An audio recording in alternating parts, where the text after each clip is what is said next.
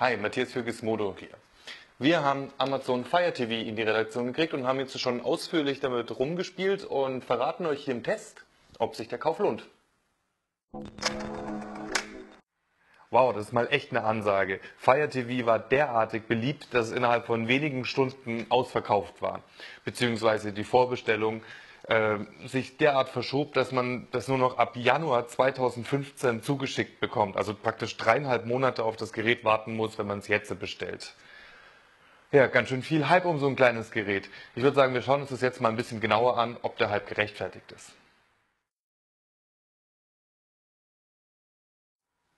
Ich würde sagen, als erstes schauen wir uns mal an, was hier mitgeliefert wird. Die Verpackung ist von außen so ganz hübsch anzusehen. Wir sehen hier so leichtes Relief. Ähm, das glänzt hier leicht silber bzw. golden beim Fire TV Schriftzug. Und packen das einfach mal aus. Seht ihr schon obligatorischen Anleitungen und eine kleine Herstellergarantie. Und hier unten haben wir auch schon das Gerät. Ähm, was da gleich auffällt, das Ding ist verdammt anfällig für Fingerabdrücke. Ich weiß nicht, ob ihr es sieht. Man sieht meine Fettgriffel sind sofort drauf und gehen auch nicht mehr weg. Also äh, eigentlich nicht besonders nett, aber, aber auch kein größeres Problem, weil allzu oft wird man dieses Teil nicht anfassen, das übrigens verdammt an Apple TV erinnert, sondern man bedient es ja mit dieser Fernbedienung, die hier auch noch unten mit drin liegt. Ähm, Genau, auf die gehen wir dann nachher nochmal genauer ein. Jetzt schauen wir mal, was noch hier drin ist. Ein Netzteil, ein ziemlich großes Netzteil, wenn wir drauf schauen, es hat zweieinhalb Ampere. Und die Batterien, die netterweise auch mit Amazon gebrandet sind. Ja, was mir dann noch aufgefallen ist, ähm, es fehlt ein HDMI-Kabel, also wenn ihr das Ding an Fernseher und Monitor anschließen wollt, braucht ihr unbedingt ein Kabel. Und äh, wir hatten es ja vorhin schon mal ein bisschen ausprobiert. Das Ding lässt sich auch nicht öffnen. Tut man sich richtig weh. Ich also habe es wirklich lange probiert. Ich muss hier äh, einen kleinen Schraubenzieher zur Hilfe nehmen. Ich hoffe, dass es jetzt nur bei dem Modell hier so, was ich hier habe. So, jetzt ist auf. Jetzt können wir auch die Batterien reintun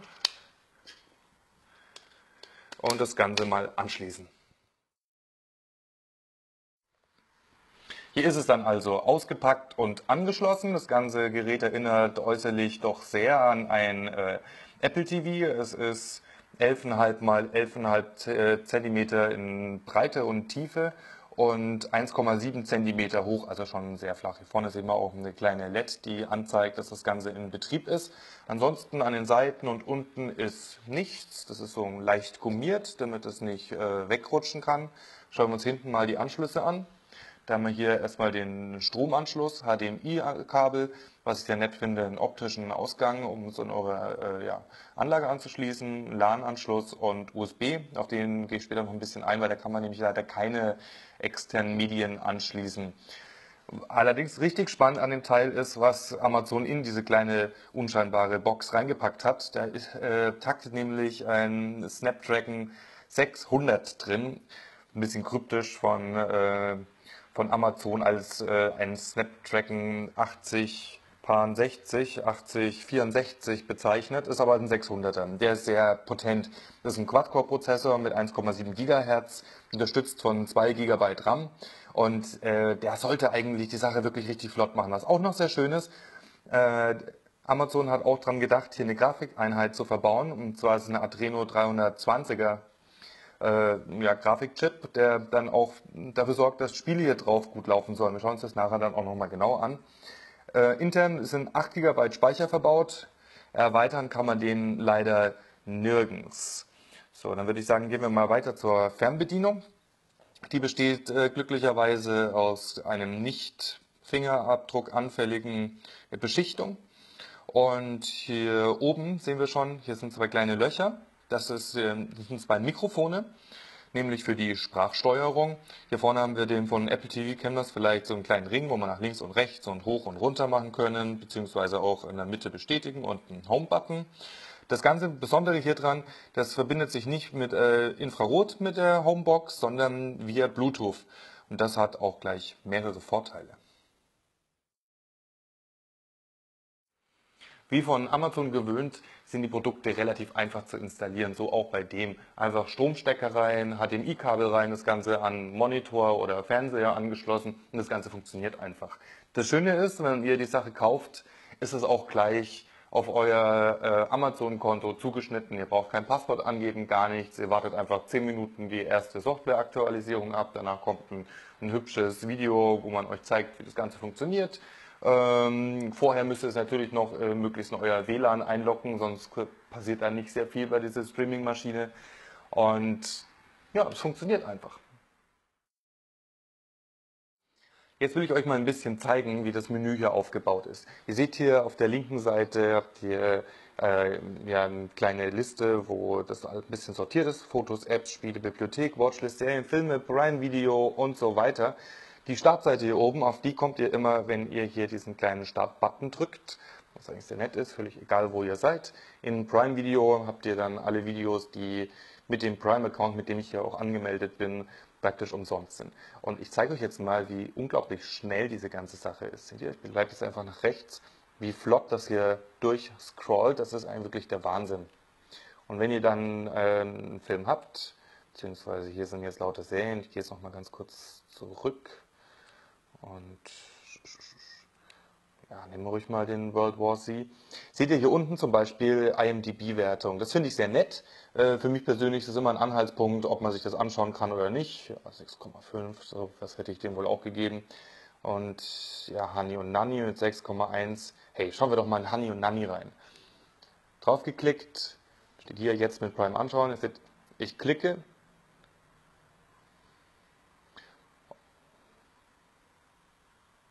Ja, waren jetzt wohl so fünf Sekunden und der Film startet. Also es, es ist wirklich relativ flott immer. Machen wir das jetzt nochmal bei einem anderen Film, um das zu zeigen. Batman mit Prime anschauen. Ah, das war jetzt auch nur eine Sekunde warten und es geht los. Wir spulen mal bei Batman ein bisschen vor. Ups, 19. Minute. Ich muss dazu sagen, das ist jetzt natürlich hier in unserem WLAN drin. Und das WLAN ist aber auch nicht besonders schnell.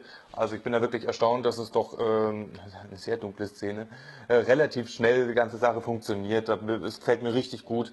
Ähm, das bin ich jetzt zum Beispiel von Apple TV nicht unbedingt gewöhnt, dass man, da muss man manchmal relativ lange warten. Da spielt die kleine Kiste mit ihrem potenten Grafikchip wirklich äh, komplette Power aus. Gehen wir mal ein bisschen auf die Fernbedienung ein, die hat mir schließlich auch die meiste Zeit in der Hand. Das Besondere an der ist, wie vorhin schon erwähnt, sie verbindet sich via Bluetooth mit der Kiste. Das hat mehrere Vorteile. Zum einen braucht man keinen optischen Sichtkontakt, das heißt, man kann Fire TV, ja, die Mutterstation praktisch in den Schrank stecken. Man muss sie nicht angucken, wenn sie mal einen ekligen Fingerabdruck drauf hat. Man kann äh, hier mit der Fernbedienung auch Spiele spielen. Äh, und die Latenz ist dadurch deutlich geringer als bei äh, Blut, Entschuldigung, als bei Infrarot. Und der größte Vorteil ist aber, man kann hohe Datenmengen übertragen. Und das braucht diese Fernbedienung auch, denn hier oben sind zwei Mikrofone. Und das heißt, ich kann äh, der Fire TV dem Sprachbefehle geben. Das hat äh, den, den großen Vorteil, jeder, jeder, der mal Apple TV benutzt hat, weiß es und ist genervt davon, wenn man Texte eingeben muss und man muss hier mit links und rechts im Steuerkreuz äh, die verschiedenen Buchstaben ansteuern. Das dauert ewig und zerrt wirklich richtig an den Nerven. Und ich möchte euch mal zeigen, wie unglaublich gut diese Sprachfunktion funktioniert, indem ich verschiedene Sachen suche. Schweighöfer.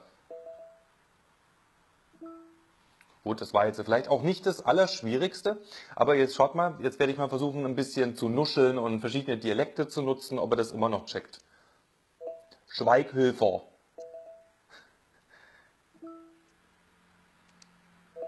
Schweighofer. Gut, ich habe auch Hofer gesagt und nicht Höfer. Und ihr seht das richtig, so schreibt auch sofort Hofer. Schweighofer. Craig Scheffer. Schweighöfer.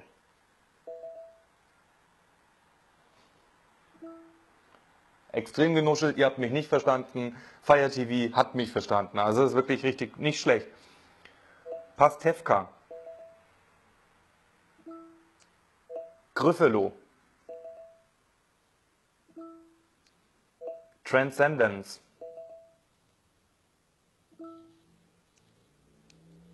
Transcendenze. Das ist unglaublich. Sven Gali. Es checkt sogar meinen Namen. Matthias Sternkopf. Also wirklich abgefahren mit Doppel-T und H, einem T und H. Jetzt probieren wir es nochmal mit äh, dem Namen von meinem Kameramann aus. Der meint nämlich, dass seine Behörden das immer falsch schreiben, dann sollten sie sich mal das hier zulegen.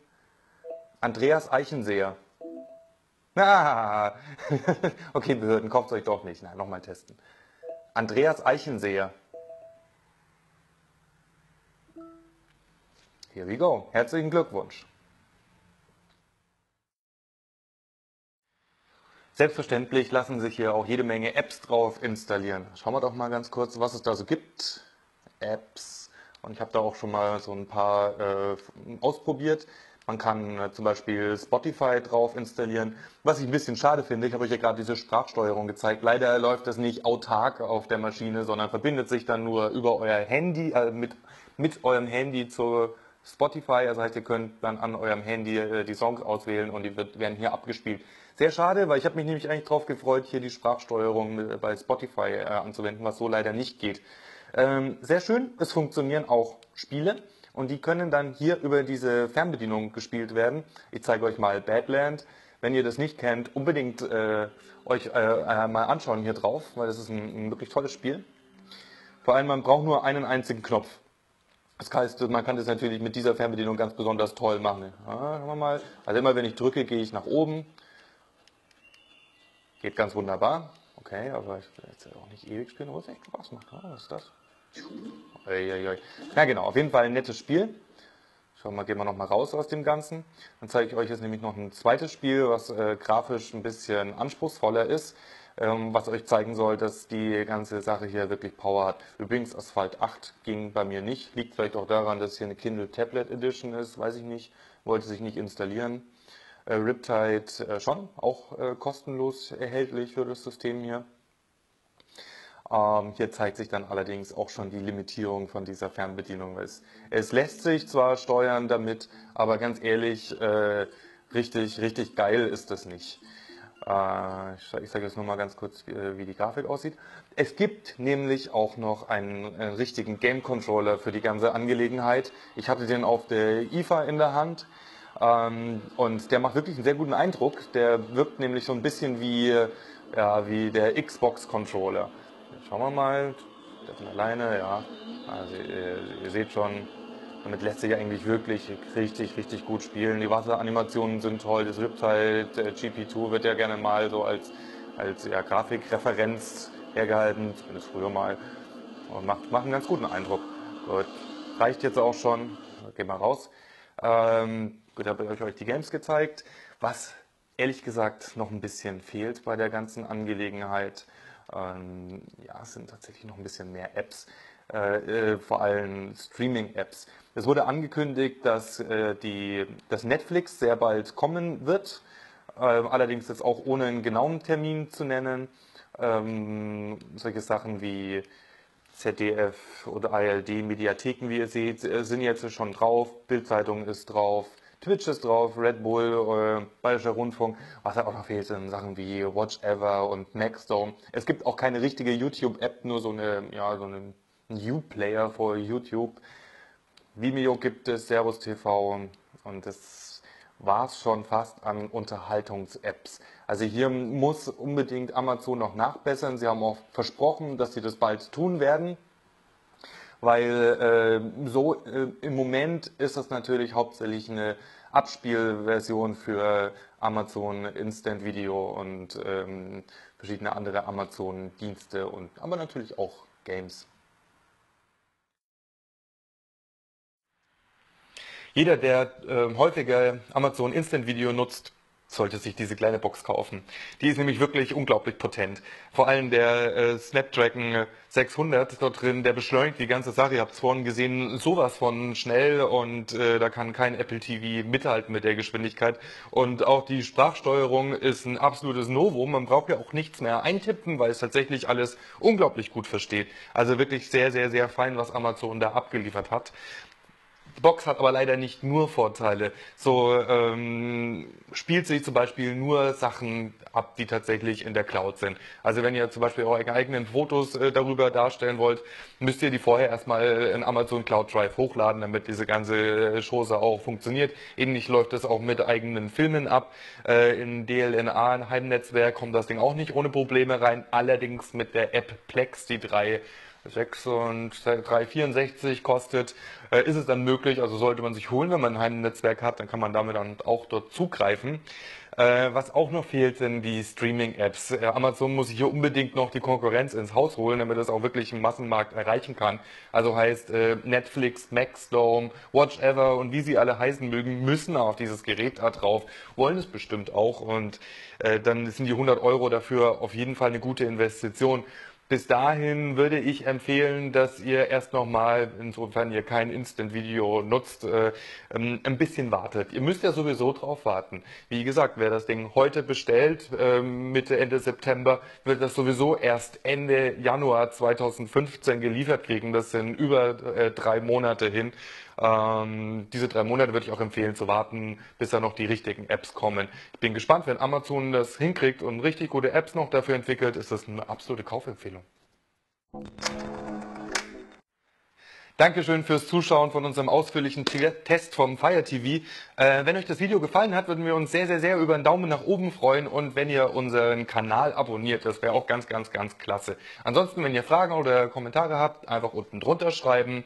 Wir werden dann zeitnah darauf antworten. Dankeschön fürs Zuschauen.